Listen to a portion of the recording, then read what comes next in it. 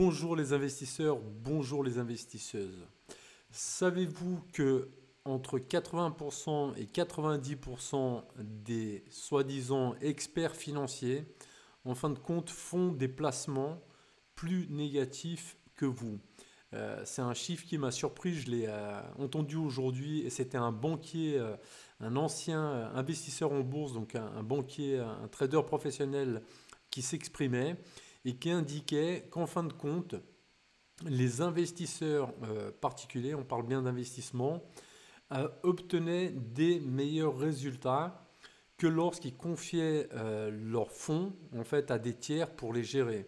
Donc vous voyez, toutes les personnes qui investissent dans des fonds, des fonds de placement, ou qui donnent simplement carte blanche en fait à leur banque pour placer leur argent à leur place, ils finissent par obtenir de plus mauvais rendements que les personnes qui font le choix euh, de choisir eux-mêmes euh, leur placement. Vous voyez, cette donnée, elle est un peu étonnante, mais en soi, elle n'est pas si étonnante que ça. Vous allez voir pourquoi.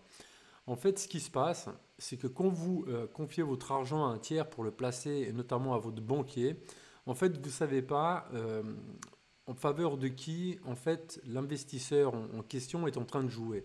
C'est-à-dire, est-ce qu'il est en train de jouer en faveur de vos intérêts ou est-ce qu'il est en train de jouer euh, en faveur des intérêts de la banque?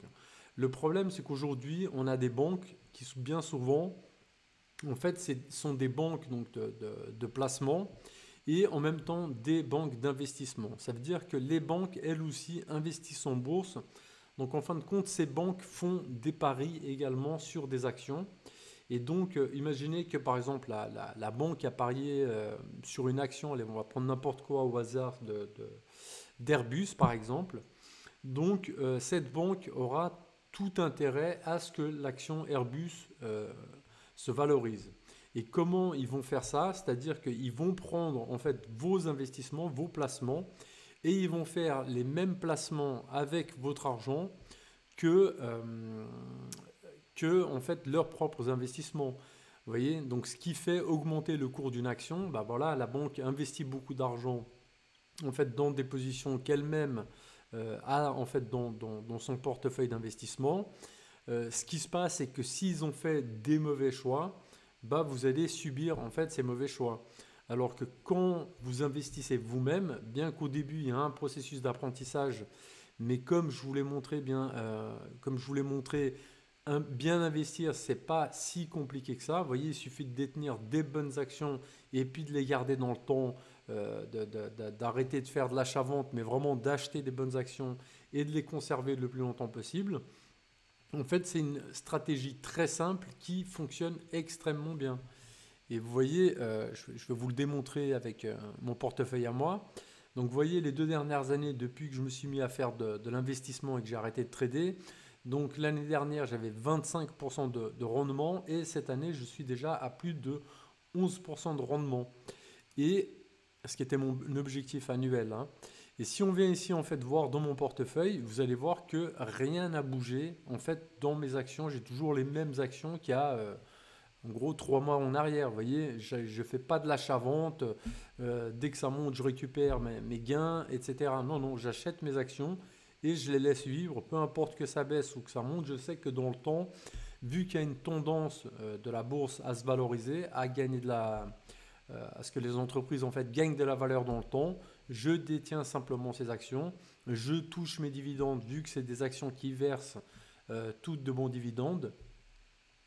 Et vous voyez, regardez par exemple l'exemple de Maersk que j'avais acheté et puis j'étais en en perte sur cette action. Euh, il y a quelques temps, j'avais pratiquement 1000, euh, euh, euros de perte sur cette action. Aujourd'hui, vous voyez, j'ai déjà récupéré toute la perte.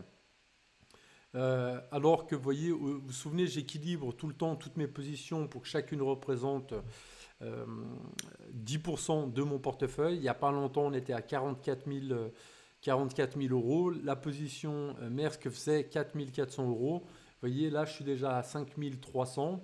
Et puis là, simplement, ce que je vais faire, c'est que je vais laisser cette action-là, j'achète plus et je vais acheter les autres qui sont, euh, euh, qui sont euh, à une valeur plus basse pour équilibrer le tout. Alors maintenant, je vais commencer à tendre vers les 5000. Donc les prochains efforts que, que, que je vais faire, je vais ramener d'autres positions vers 5000 et petit à petit, on va aller vers l'objectif de 50 000. Ce qui était mon objectif annuel et vous avez vu qu'en fin de compte, euh, cet objectif, je vais très probablement euh, l'atteindre plus vite que prévu. Et c'est ça aussi les bonnes surprises lorsqu'on investit en bourse, c'est qu'on obtient aussi des rendements au-dessus de euh, ce qu'on espérait. Et vous voyez, donc ça c'était simplement pour vous montrer que j'ai toujours les mêmes positions en portefeuille, j'ai pas fait de mouvement. Parce qu'en fait, plus vous tradez, plus vous euh, perdez de l'argent. Ça, je vous ai déjà démontré, euh, notamment via des études, euh, via des études que ça fonctionne comme ça. Et puis, si on regarde, en fait, depuis le début de l'année, on, va même faire une petite extraction de, de, de, l'historique, en fait, de, de mon portefeuille. Et ici, donc, on va faire une extraction personnalisée. Alors, hop, hop, hop, hop. Voilà. Et puis les dates, donc on veut depuis le début de l'année. Donc on va prendre ici le 1er janvier. Et jusqu'à, on peut aller jusqu'au 19, on va aller jusqu'au 19. Voilà. Donc qu'est-ce qui se passe ici? Alors, vous voyez, au début de l'exercice, j'avais 26 000 euros. j'ai fait, euh, on va arrondir à 27, j'ai fait 11 000 euros d'apport. Donc 27 euh, plus 11, donc je devrais avoir 38 000, euh, en gros 38 000, 38 000 euros, mais vous voyez que j'ai 46 000 euros. Et pourquoi? Parce qu'en fait, j'ai fait une bénéfice j'ai fait un bénéfice sur des positions que j'avais euh, vendues tout en, début d'année. Vous vous rappelez, je vous avais fait une vidéo pour dire que j'allais rééquilibrer mon, mon portefeuille. Et parce qu'il y avait certaines actions que j'avais achetées qui, en fin de compte, ne répondaient pas aux critères que je voulais, à savoir qu'elles, qu'elles versent un très bon dividende. Et puis, euh, donc j'ai 5500 euros de gains. Et puis, j'ai 911 euros de dividendes qui m'ont euh, été versés. Vous voyez, ça, c'est après impôt vu qu'il y a déjà l'impôt qui est retenu à la source dans euh, bon nombre de pays. Et euh, donc vous voyez le gain total entre le bénéfice euh, que j'ai fait sur le cours de certaines actions plus les dividendes, bah, j'en suis à pratiquement 6 000 euros de gain depuis simplement le début de l'année. Donc vous voyez, un exercice qui avait démarré, on va dire, avec 30 000, 30 000 euros, aujourd'hui je suis à 46 000 alors que j'ai fait que 11 300 euh, euros d'apport. Donc vous voyez, euh, de 30 000 euh, plus, plus, plus, plus, plus, plus, plus 11 000, donc 41 000, et puis les 6 000 euros ici de gain, voyez, et ça fait 46 000, 46 000 euros. Donc vous voyez, la boule de neige, elle se constitue extrêmement vite. C'est une stratégie qui est extrêmement simple et en fin de compte, en investissant vous-même, il y a beaucoup de chances que vous fassiez beaucoup de mieux que même un, euh, banquier, euh, en parenthèse, professionnel. En sachant que vous défendrez toujours mieux vos propres intérêts que votre banquier. Donc en fait, le conseil euh, que je vous donne, c'est de commencer, de commencer le plus vite possible pour apprendre tout ça apprendre à gérer votre patrimoine. Même si aujourd'hui vous n'avez pas de quoi investir beaucoup, commencez, lancez-vous. C'est un processus d'apprentissage.